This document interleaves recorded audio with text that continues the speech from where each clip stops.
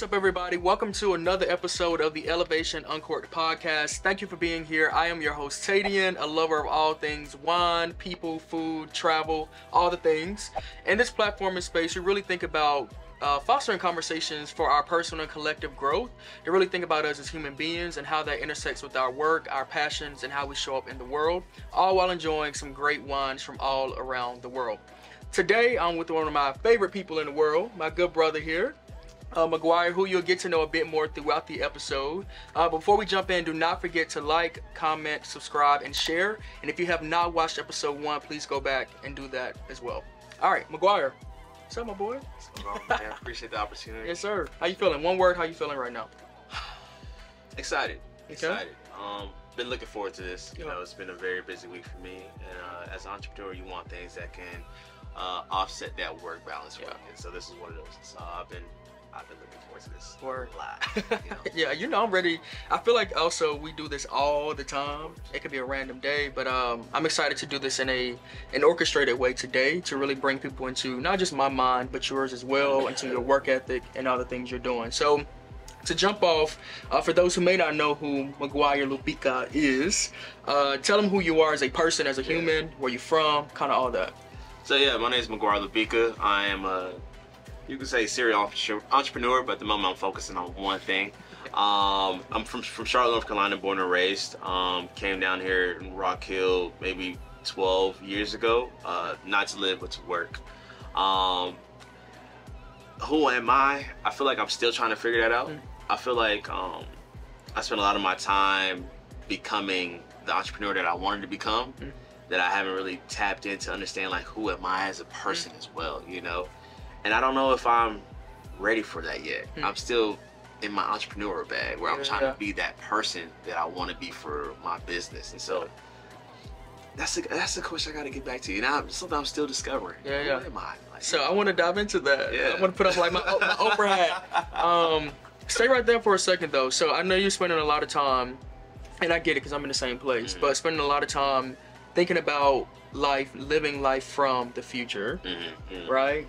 Because who I am today, I'm cool with it, but it's not like it's not where I want to be, right? So let me frame the question this way: When you think about the highest, best version of yourself, how would you then describe that person from the future?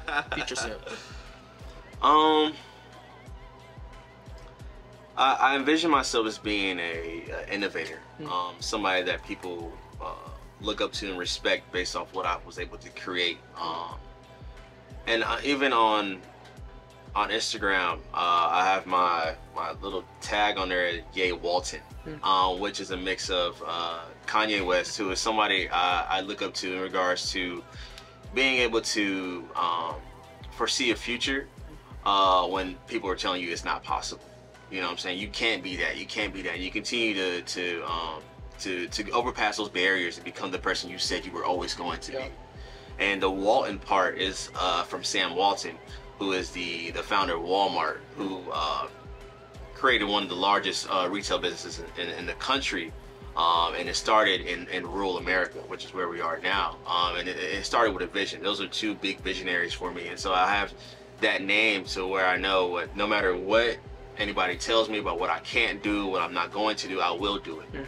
Um, and so uh, that's that's one thing I always keep keep it back in my mind. And so when I get there, people are gonna be like, "Wow, you know, that person did something where nobody believed he could," you know. And so that, I think that's that's that's what I'm working towards, you know, to be that person where it's like, you know, I, I told you so, Yeah, yeah, yeah. you know. So I, I I see that person every day, and that's that's who I work to be, Hmm. to, to be that individual. Yeah, no, I hear that. I hear that. Even if, um, even to yourself, like even telling yourself so, Mhm. right? Like I knew we could do this. I Mhm. knew we would get here. Mhm. Um, no, that's beautiful. So I know we met two and a half, three years ago, um, and it's and it's funny because we met doing the same thing. like we met working. We met at a uh, networking event Mhm. uh, that we hosted here in Rock Hill.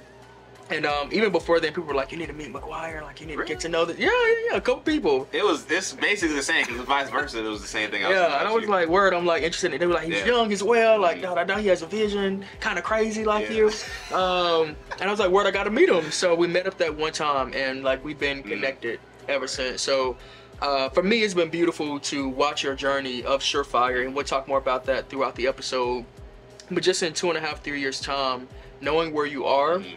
But also knowing where you are going, you know, not just you, but a family, um, and what you're building, I just wanted to like stop and like say I'm proud of you, bro. I know we say that all the time, but on camera so people can hear it too. Like I am proud of you. What y'all building is is beautiful. It is shifting an entire community, which we'll also talk more about. Um, so I just wanted to start with that and get into a cheers. So of course, for those who are new here, new here in this space, every episode uh, we introduce a bottle of wine. So today we're going to do a Chateau Michelle, which is a Riesling. Um, so this is a 2021 bottle of Riesling from the Columbia Valley. Couple quick facts here. Uh, this Riesling is going to taste more like it's dry, um, more like a lemon lime, maybe a little bit of peach in there too. So it is a bit more fruitier. Um, so it works well with like different cheeses. I would say more chicken as kind of your meat of choice if you do eat meat. Um, but it's really nice. It's an everyday drink. Uh, and if you're in this area, you can actually come here and buy it here at Surefire.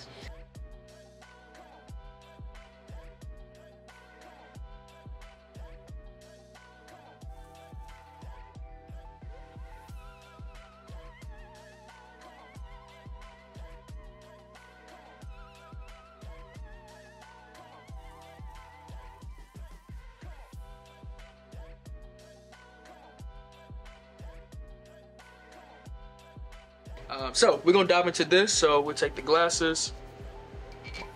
Have you ever had this one before? I not that one. There's a there's a uh, bottle of wine called Gorchemine or something like that that I've tried before. It was It was a. Riesling. Yes. Okay. It was amazing. All right. That. All right. Cheers. All right. Appreciate you, my brother. All right. So, uh, I want to dive in. I just want to take it there. Like, Before you do, Okay. I want to Cool, say I'm cool, proud cool. of you as well. I, I gotta say that. I gotta say that because I remember at that event, um, even prior to the before meeting you, I've always heard about Teddy and Paige. Yeah. Teddy and Paige. Like even like before meeting you, I would see, I would open my phone, Teddy and Paige. Mm. Like Mm. you'll see stuff on Mm. social media, and I was like this, and I always told you. This man is the president of Rock Hill. Yeah. like you're everywhere, That's the goal, man. bro. Yeah. Like, so yeah. That man and, Mm. and doing it um such at a young age is so uh admirable man Yeah. because it's, it's that passion man when you do it young you know you got a vision you all ultimately are going to be very successful Sure. very successful. i'm proud of you man Cheers, man. Cheers. We Cheers. can do both. We can do both. no I appreciate that. of Um, course so jumping in right there. So when we met, right, we both were doing a lot of different entrepreneurial activities, um, running multiple businesses, like multiple streams of income, and still dabbling that in ways. Um, but I feel like like you're more streamlined, like tunnel vision right now on the Surefire brand and model.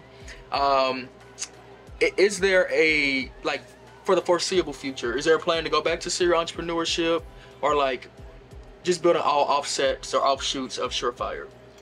Just personal question. I'm curious about. um i think once we get surefire to a place where i'm comfortable to do um other things that's definitely the plan Yeah. um one of my uh biggest love interest when it comes to investing has been uh, mobile homes. Mhm. Um, I started that before I got into Surefire, and I just love mobile Yeah. homes. Man. It's um the renting process, um, also flipping. Yeah. It's like some of the easiest money I've ever made in my Hmm. life. Mobile home investing.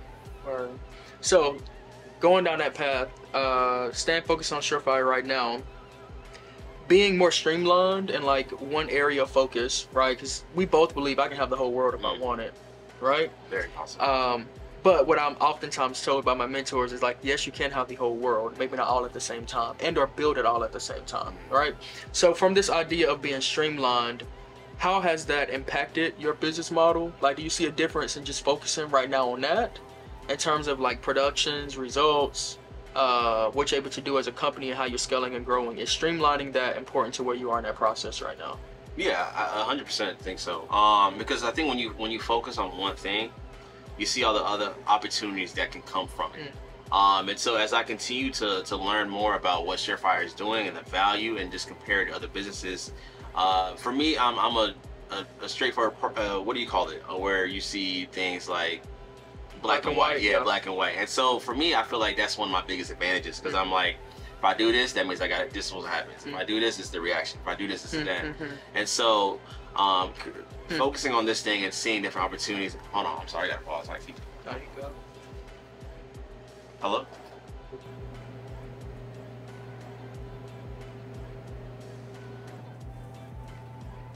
Okay, hold on a second. Actually, kind of low key. Want to like keep that. I mean, you do got to run a business at the same time. Comes with the territory, people.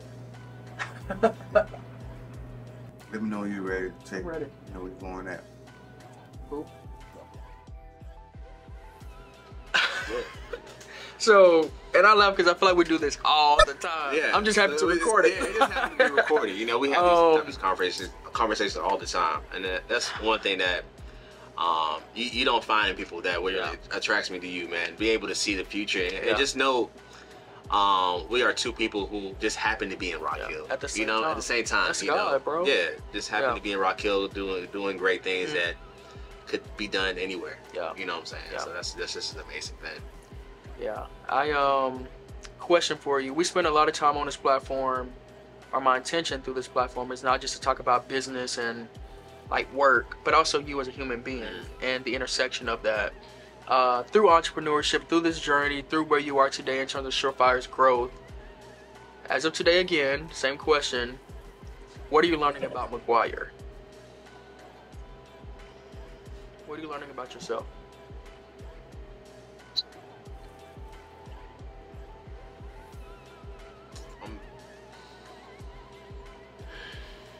We can put that subscribe button right there again. a little intentional pause. But yeah, just curiosity. I, I think one of the the the biggest things that I've learned about myself through this process is just knowing how powerful I am. Mm. Um, that that's that's the biggest thing, man. Just being able to to stay focused and dedicated, and, and be able to uh, understanding the amount of sacrifice that I have to put into something, and and knowing that if I did it once, I can do it again. You know, that's that's one of the biggest things that I've learned about myself. I had this um Mm. did this uh, score Charlotte event for this uh I applied for this grant uh where you had to do a uh, in-person speaking um and so I went up there against uh 10 other people presented your pitch deck and you had to you know give a pitch or whatever I went up there with no pitch Mm. like it was basically I went up there with my my pitch deck I didn't have nothing memorized I just spoke Mm.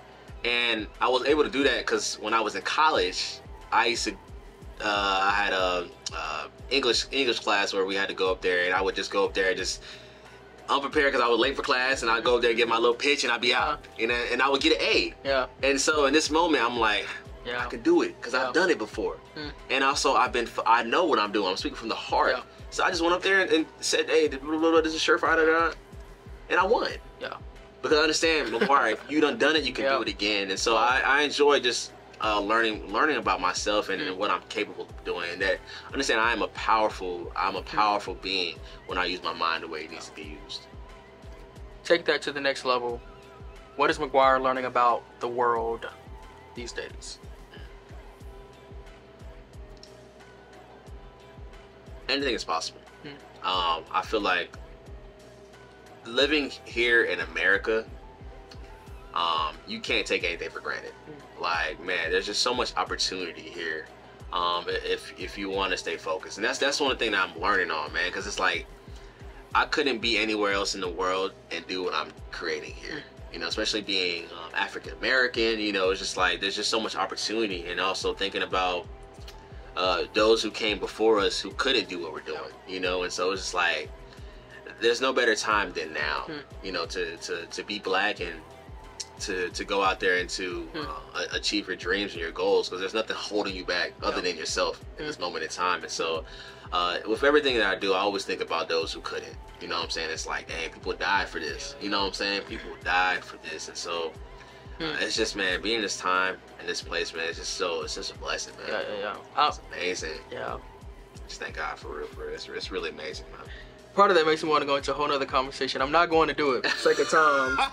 but there is a powerful conversation to be had, and I'm open to doing it on this platform at some point between navigating a world and a system and a country per se that is not set up for you as a black Mm. individual, but still accepting, processing, affirming self-actualization and self-possibility. Mm. Like, yeah, it's not built for me, but I can own all this I shit. can. like, and to walk in both in the same at the same time Mhm. is a mindset thing that needs to be tapped into a little bit more. I'm telling you, uh, it's, it's very deep, man. It's it is, deep. but it goes back to what you said you're learning about yourself. Is Mhm. like, yet and still, Mhm. right? Like that's the word right there. Mhm. Even though all the things, Mhm. America, no, not built for Mhm. me. Mhm. Uh, Southside, not set up for success. Yet and still, parents immigrated here. Yet and still, right? And the nuance of that, I wouldn't be taken if I didn't take time to at least admit the fact that this country is not where it need to be. Yet and still, still, bro. yeah. And it starts here, and I bring it to Exactly, here. And um, exactly. you've been doing that. Your brothers have been doing that, also by way of your parents. Um, so, bro, I'm proud of you. I, I always do this at the end. I'm catching you off guard because I didn't let you know this in advance, but offer space for you to a- ask me a question if you have one. No pressure. Yeah. Uh, we can easily just cut this out if you don't have one. Um, but I've been trying to create space for also those I bring on the show to ask me Mhm. something, uh, whether it's for you personally or just for those who may be Yeah. watching, um, as a way to let people inside of me and like my Mhm. brain and how I think, um, as the audience is getting to know me who may not know me Mhm. yet. So, space there if you want it. No pressure. So let me ask you this. Don't don't take me. I, I'm not asking you. I'm not asking the wrong question. All right, go ahead. Go ahead. Go ahead. Go ahead. Let me ask you this. Yeah. Are you satisfied with where you are right now?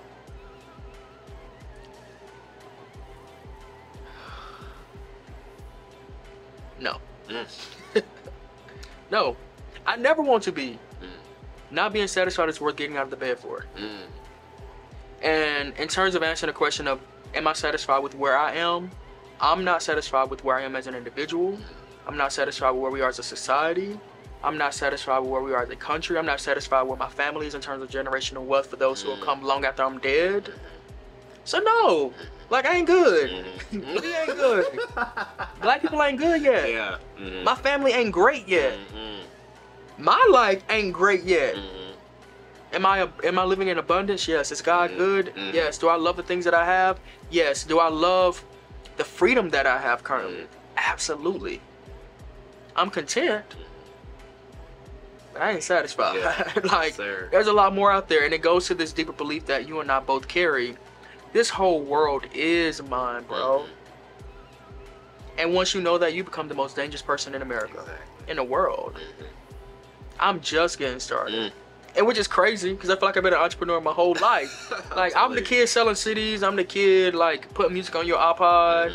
Selling candy bars. Yeah. Like I'm that I was- kid. That was me. I'm that kid, I used to bro. sell tech decks. You know what I mean? The little skateboards Yeah. in, uh, in middle school. Yeah, hey, like you need your phone jailbroken. opportunity, opportunity. And as I'm processing that, yes, money was a part of that, but the ability to create Mhm. and facilitate Mhm. is what I enjoy more than anything. Mm. And I'm just scratching the surface. I thought this the other day to myself.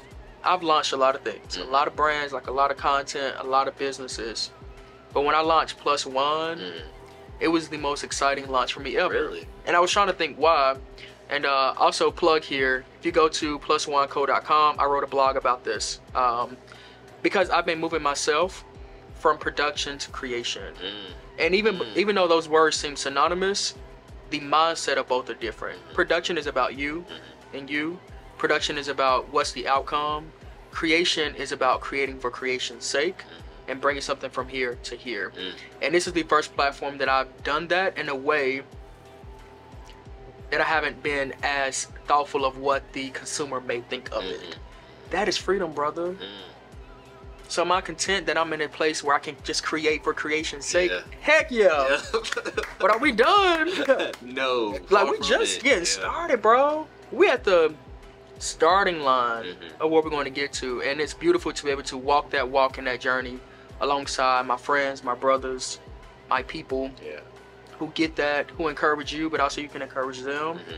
and you cheering each other along, uh, cheering each other along along the way. Mhm. And um, I'm just glad I get to do that with you, bro. I appreciate that, man. Yeah.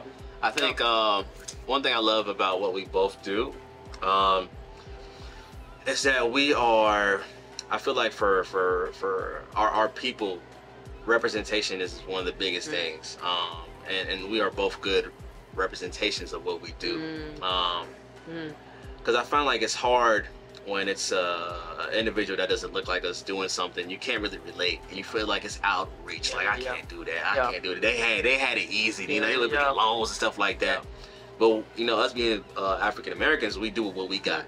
You know what I'm saying? So somebody be watching this like, man, if he did it, I can do it too. Yeah. You know what I'm saying? So I just appreciate you, man, for doing that, man. Because sure. it's, it- it's it's um it's very impactful, man. Yeah. And so uh, um, representation is, is a big thing that we need in our communities, Yeah, man. yeah. There's a lot of people who are lost because they don't see themselves in other shoes because Mm. there's nobody who looks like them doing Yeah. it. You know what I'm saying? So this is very impactful. Or I'm gonna cheers you one more time, my brother. I'm gonna let you uh, let people know how they can connect with you, connect with Surefire, um, and I'll close out from there. All right. Yeah, so you can uh, follow me on Instagram at M A G L O I R E, Surefire, which is S U R E F I R E. Our social media here is Surefire Market CO. That's on Facebook and Instagram. Uh, and uh, we're on TikTok as well. And Yeah, social media is out. crazy. Yeah, yeah, yeah, we have a good marketing team, Unchained Media, uh, with my main uh, Jake Riggins, and so definitely check them out. Yeah, word. Cheers, my brother. Cheers. Appreciate you, bro. Thank y'all again for tuning in to another episode of the Elevation Uncorked podcast. It is my hope, my prayer, my intention that through this space you are able to connect not just with others and learn our stories, but connect deeper with yourself. As always, sending you love and light. Cheers to you.